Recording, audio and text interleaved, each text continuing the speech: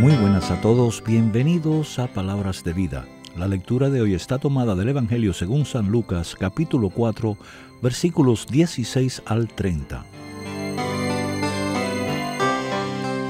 Jesús fue a Nazaret, el pueblo donde se había criado, y en el día del reposo entró en la sinagoga, como era su costumbre, y se puso de pie para leer las escrituras.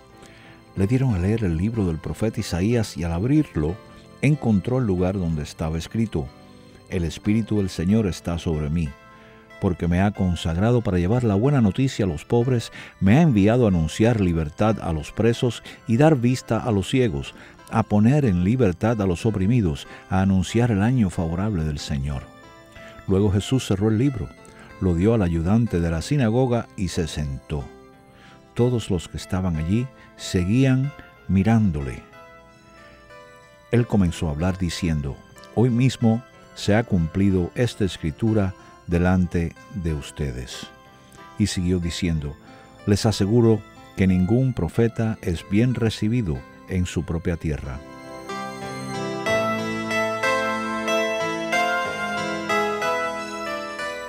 Algo bien difícil para cualquier cristiano es el lograr llevar a miembros de su familia a conocer al Señor, a conocerlo de veras.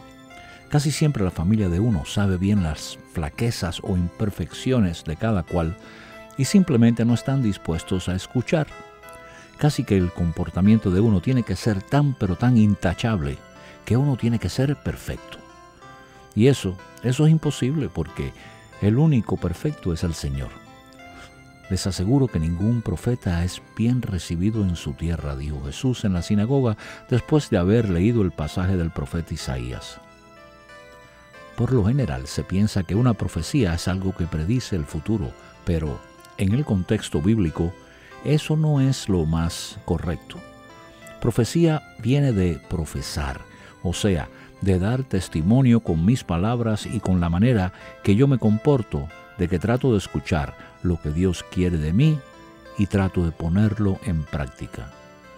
¿Y qué cosas quiere Dios de mí?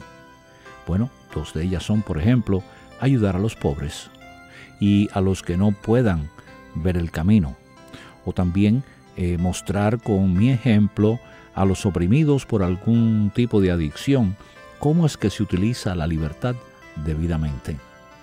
En fin, Dios quiere que seamos profetas, que profesemos, que vivamos a la manera de Jesús.